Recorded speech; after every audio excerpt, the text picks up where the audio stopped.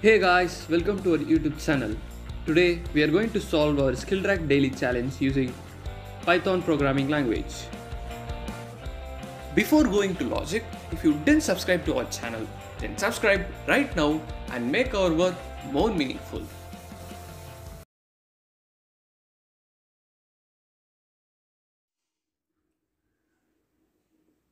First, we'll understand our question. They have given the program in Python programming language, so we have to convert it into C programming language. So let us understand the program first. So first I get getting the input integer n, let it be 3 and then they are iterating from 1 to n plus 1 and for all the iterations they get the current row as a list. So maybe any numbers which is uncountable. So let it be 4 to 5 for the first row. And then for the second row let it be 6 2 and for third row let it be 1 2 3 1 2 4 5 8 so since we have integer n we have n as 3 we have 3 rows and these three rows contains several integers which is uncountable. And finally we have to print the length of the current row.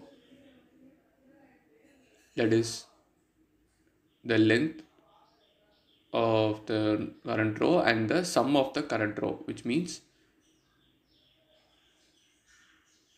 for example for the, in this first row we have the length of the current row that is we have three integers so we length is 3 and the sum is 4 plus 2 plus 5 it is 11 and here the length is 2 and the sum is 8 and here the length is 5 and the sum is 1 plus 2 plus 4 plus 5 plus 8 which is 20 so finally this will be our output.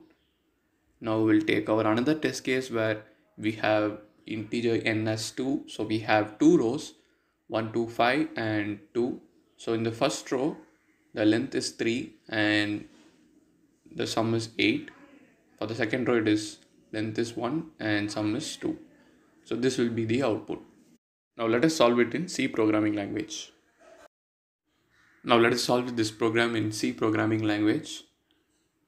So first we have to get the integer n and then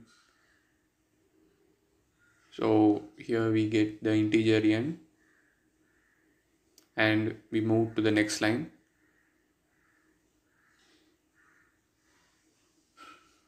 After getting the integer n, now we have to iterate over a loop. So for int ctr equal to 1 ctr less than equal to n and ctr plus plus. So here we have the current row. So here we have to get the current row that is in sum equal to 0 length equal to 0 and the num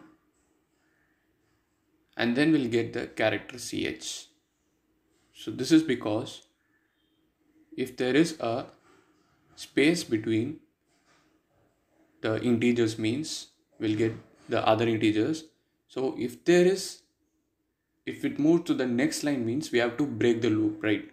So that's why we are getting the character ch so if it is moving to the next line will break the loop. So for this we'll have to run a while loop. So while true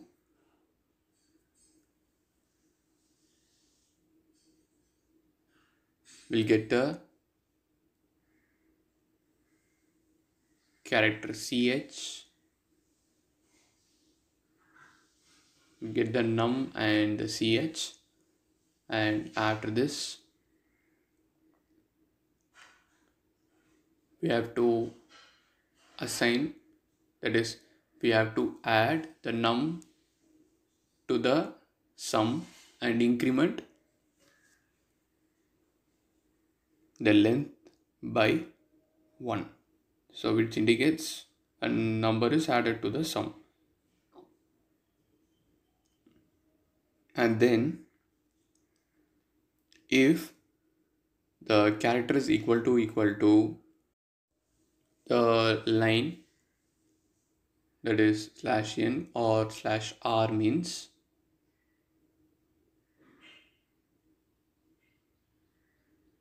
we have to break the loop.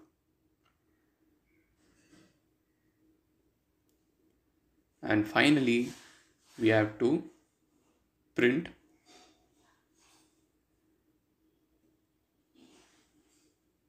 the length and the sum as the output